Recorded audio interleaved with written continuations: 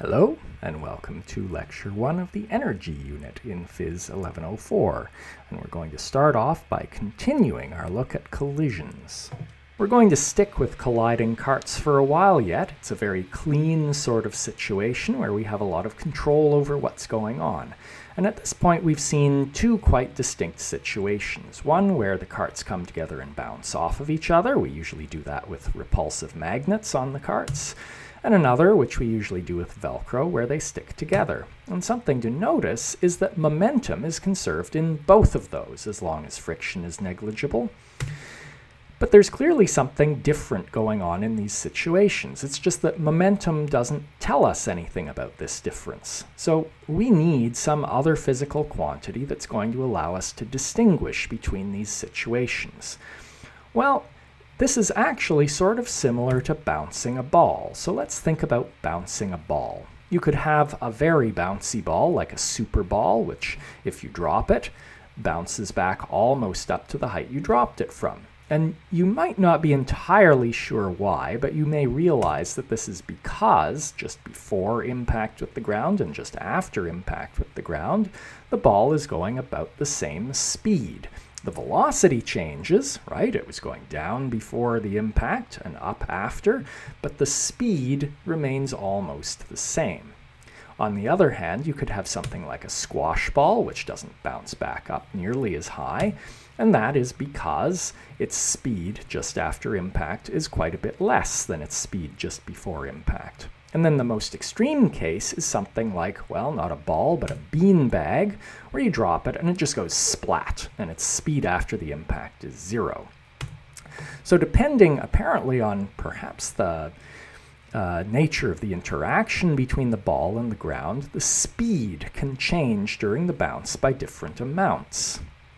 So we've got these two observations, one about different kinds of cart collisions and one about different kinds of ball bounces.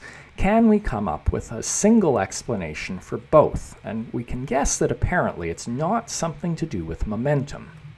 If you're not convinced that the ball bouncing off the ground and the two carts colliding are very similar situations, then here's something that may convince you.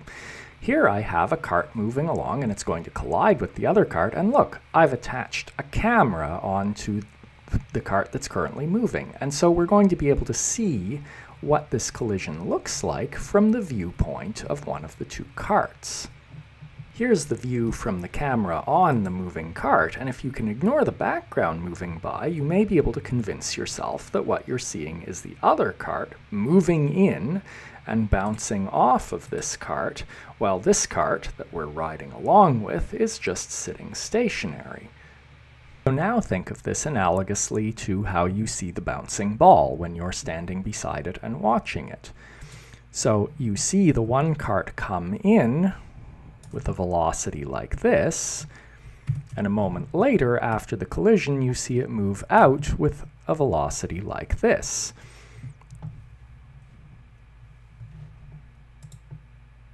I can plot up a position versus time graph for the one cart as you see it from the other cart, and it looks like this. And the thing to notice is that we can pull some slopes off. So there's the slope before the bounce, and there's the slope after the bounce. And so these are x components of velocity. And their magnitudes then are the speed. And so notice that the speed, as seen from the other cart, is the same before and after the collision. So this is very much like a very bouncy ball bouncing off the floor. Relative speed is the tool we need. In analogy, a very bouncy ball has the same speed after the bounce as before, but as we've already seen with the carts colliding, we actually see it in our data, a very bouncy collision, like the magnetic interaction between the carts, has the same relative speed after the collision as it does before. We're going to call this a collision with the same relative speed before and after an elastic collision. So now we get some useful terminology. The relative speed the same before and after, we call it an elastic collision. If the relative speed is less after the collision than it was before, we call that an inelastic collision, right? Non-elastic, inelastic. If the relative speed is zero after, as we've seen, that's what happens when you use the Velcro and the things stick together, we call that a totally inelastic collision. So that's just the most extreme case of an inelastic collision. And there is one more possibility if the relative speed is greater after the collision than it is before. Now, you, you might be wondering how that's even possible, but the name of it will give you a pretty good clue of how it's possible because we call this an explosive separation. You might be a little puzzled right now because you've probably come across elastic collisions in a previous course, and the definition you learned probably didn't have anything to do with relative speed. Well, don't worry, we're getting to the definition that you know very soon. Because relative speed is convenient. It's really nice. You can easily measure it directly, and it actually turns out to be very convenient for computing things, but there's something it isn't. It isn't extensive. Think about doubling the system size of a pair of colliding carts. Well, when you double the system size, you have to keep everything the same except the system size, and so in particular, you keep their velocities the same. Well, that means the relative speed hasn't changed when you double the system size. And so, relative speed isn't extensive. And we like extensive quantities. They're convenient. They've got all those nice properties, that nice accounting system. And besides, you know that every time I talk about extensive quantities, you're going to get to look at cute cat pictures, and who doesn't want to do that? So we'd like an extensive quantity that somehow tells us whether relative speed remains unchanged to get an extensive quantity, we want something that we can write as if the whole system has the quantity q and the system consists of two parts, then those parts are going to be q1 and q2, and you just add them to get the total. That's how extensive quantities work. Well, we're, we're going to show later that this thing called kinetic energy has all the properties we want. I'm not going to prove that yet. We're just going to go and use it for a while, and I'll prove it later. So here is the kinetic energy. And the point here is that this is the kinetic energy of an object. This K represents the kinetic object, the kinetic energy of one object. And so when we're finding the kinetic energy of our system, we just add the kinetic energies of all the objects. And in particular, because this kinetic energy is proportional to inertia, that's the inertia of the object we're finding the kinetic energy of, we know, since inertia is extensive, that kinetic energy will also be extensive. And this v here is the speed, not the velocity, notice, the speed of the object. And so this k, the kinetic energy, is extensive and will show much later that it stays the same whenever the relative speed stays the same.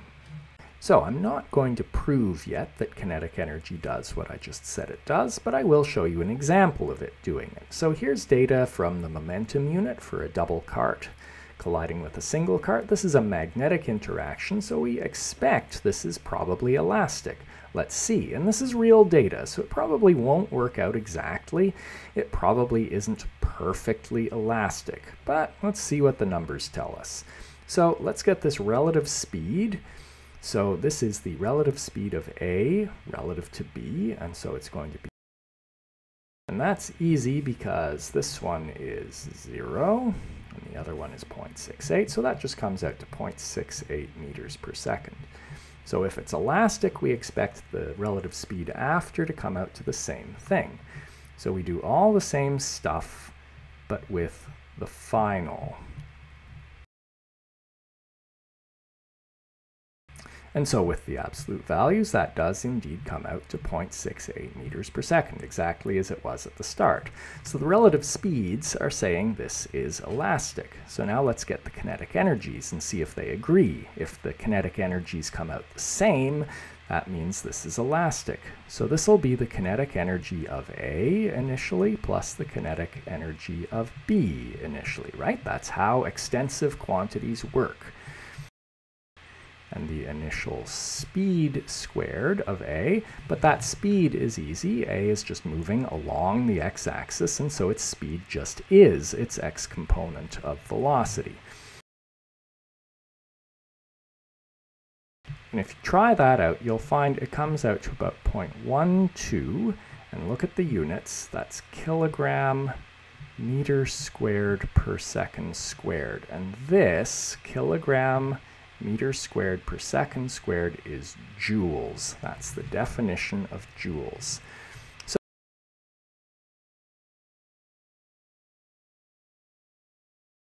And so this is very close. Like I said, this is real data and it's probably not absolutely perfectly elastic, but now we see the relative speeds are unchanged and the kinetic energy hasn't changed.